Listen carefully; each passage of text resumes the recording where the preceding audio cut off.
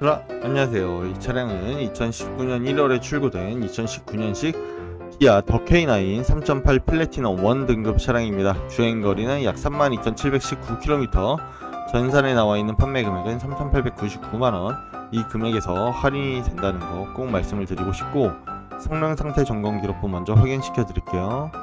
2019년 1월 24일 출고 2019년식 오토미션 주행거리는 약 32,719km 사고 전혀 없는 차량이고요. 특이사항도 전혀 없겠죠. 당연히.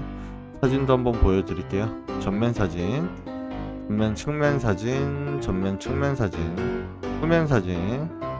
그리고 운전석 전동 시트. 뒷좌석 그리고 smart cruise control 장착이 되어 있고요 계기판상 주행거리는 32,725km 차선 이탈 경보 장치가 들어가 있는 것 같습니다. 그리고 정품 내비게이션 버튼 시동 스마트키 운전석 조수석 다 통풍 시트 열선 시트 기능 들어가 있고요.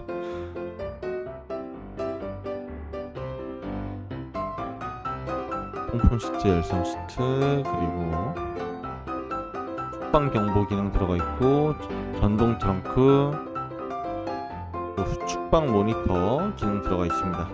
운전석 메모리 시트, 전동 트렁크, 조수석 walk-in 전동 시트, 뒷좌석 열선 시트, 그리고 around view, UVO 내비게이션, 하이패스 룸미러, 블랙박스, 블랙박스는 2채널로 장착이 되어 있네요. 휠 타이어 상태는 굉장히 양호합니다. 휠에는 기스가 거의 안 보일 정도로 깨끗하네요. 네, 사진까지 한번 보여드렸고 차가 너무 깨끗합니다.